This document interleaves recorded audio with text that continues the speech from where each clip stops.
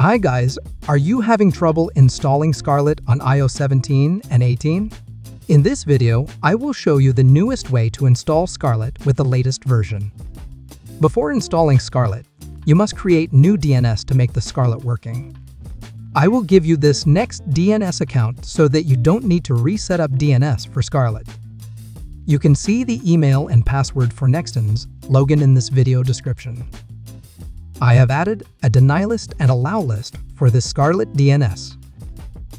So you just need to use it.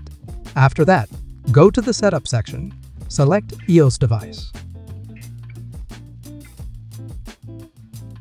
Then click the Apple NextDNS IO button. Create the name of DNS. Then click More option.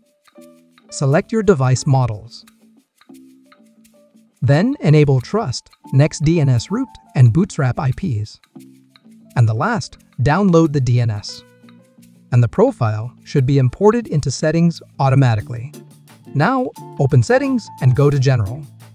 VPN and Device Management and install the downloaded profile. Input the passcode and the DNS will install automatically.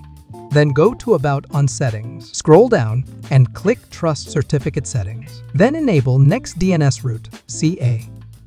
After that, download or login to the Telegram. Because the Scarlet, the latest version, is available on Telegram. On the Telegram, please join on this group. I will insert the link of this group on description of this video. And then open search section from this group and find Scarlet. Please wait. You will see lots of Scarlet links with different certificates. Please try them one by one in this group.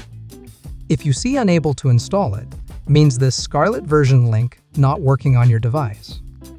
Delete the Scarlet and download any link to try it. Search the link again and install Scarlet.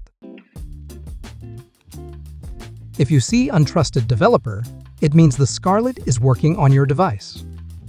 Open Settings and go to General. VPN and Device Management. Click on Trust at the top, then click on Allow. After this, your device might need to be restarted.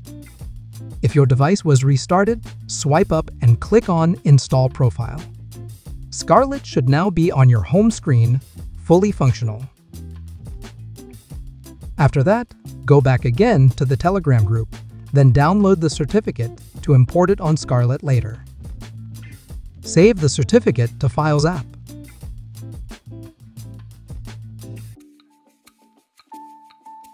Then open Files app, find the certificate, and unzip the certificate.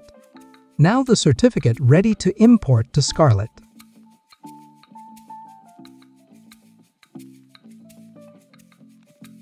Open Scarlet app. Open the sideload section.